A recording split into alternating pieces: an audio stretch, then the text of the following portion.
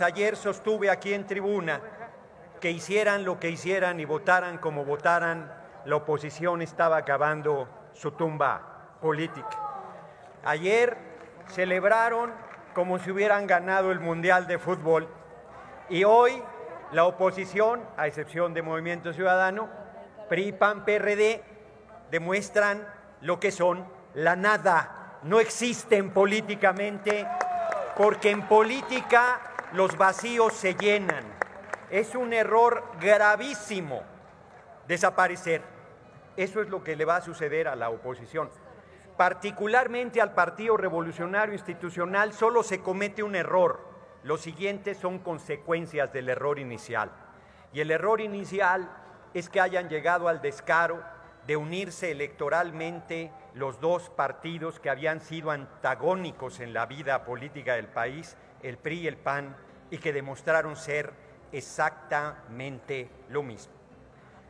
Estamos frente al sepelio de la oposición, porque además yo estoy convencido que a partir de este momento que han determinado tensar las cosas al grado de traicionar al pueblo con tal de buscar infringir una derrota política a nuestro movimiento y al gobierno que no alcanzan, nosotros aquí debemos comportarnos como lo que somos, como demócratas, como tolerantes, como plurales, pero como mayoría que somos en esta legislatura. No debemos mantener ni una sola ni una sola concesión más.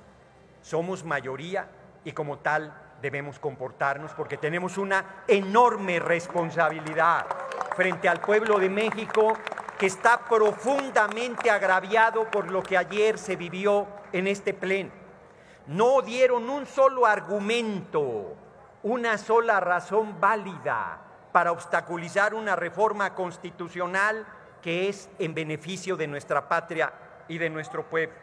Hoy, como no tienen un solo argumento en contra de que el litio sea propiedad y ejercicio exclusivo de la nación, porque dicen, ya está en la ley, sí, somos el principal productor de plata del mundo desde la época de la colonia, y está en la ley que la plata es nuestra, pero no es así, está concesionada concesionada y son de las mineras canadienses que causan destrozos sin fin y que no le aportan ni un centavo en esencia al presupuesto nacional. No vamos a permitir que el litio no esté al servicio del pueblo. Ese metal preciosísimo, ese mineral preciosísimo que hoy está llamado a ser es la punta de lanza del desarrollo tecnológico y económico del país, debe quedar bajo dominio exclusivo de la nación. Eso es lo que estamos discutiendo. ¿Y cómo pueden hablar de un albazo si eso estaba en la reforma constitucional que ayer votaron en contra? Hoy con su ausencia acreditan que están en contra de que el litio sea en beneficio del pueblo. Hoy con su ausencia acreditan que querían entregarle litio a las empresas extranjeras y al capital privado transnacional. Hoy con su ausencia ratifican su enorme posición de traición a los intereses de la patria. Y aunque no estén aquí, se los digo nuevamente, viven del pueblo y traicionan al pueblo. El pueblo hoy me preguntaba, hoy me habló en la mañana un ciudadano indignadísimo diciéndome, pero ¿por qué el PRI y el PAN van a decidir por nosotros? Y yo le dije, porque hubo, gente que votó por ellos. Y lo que nosotros debemos ir es a decirle a todo aquel que votó por el PRI, por el PAN, por el PRD, miren lo que son. No deben darles un voto nunca más. Tenemos que hacer de la fotografía y del nombre de los legisladores que votaron en contra los más famosos de esta patria para que no vuelvan a tener un cargo público nunca más.